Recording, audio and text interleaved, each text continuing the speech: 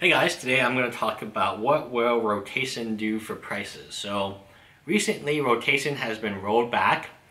I found this extremely interesting because they didn't even try the new rotation. They just rolled back. And that means your cards, your Kaladesh cards in particular, are going to have a longer standard life than previously mentioned.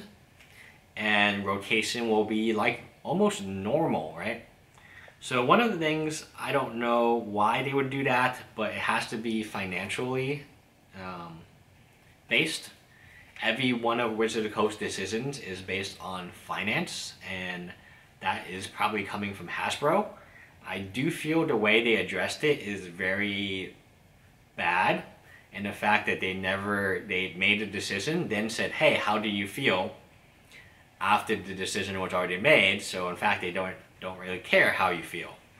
And I always I made a video and I've been a big proponent of not going to super rotation, which thankfully we are not going to. And I applaud the Coast for one thing that the Coast is very good at is they are good at identifying a mistake and acting upon it.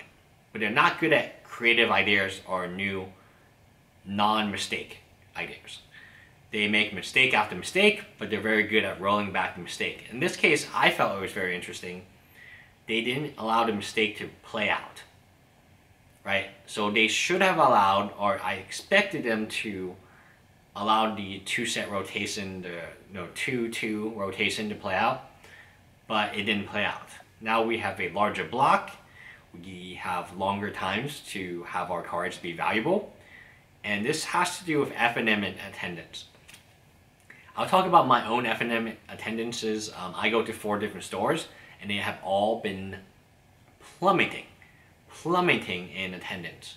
And this is because people are not interested in Magic the Gathering anymore. There's so many other avenues of things that you can be doing, like Pokemon Go. I play a ton of Pokemon Go now. And the more I play Pokemon Go, the less I play Magic the Gathering.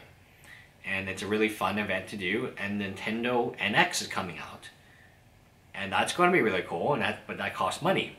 So the more people do stuff that is not playing magic the gathering then the more that they don't go to FNM the more the less money they spend.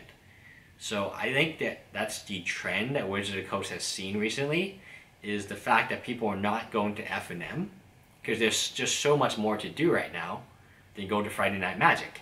And Friday Night Magic at my four locals the four locals I go to one of them doesn't have any events. The other one is only friends and family.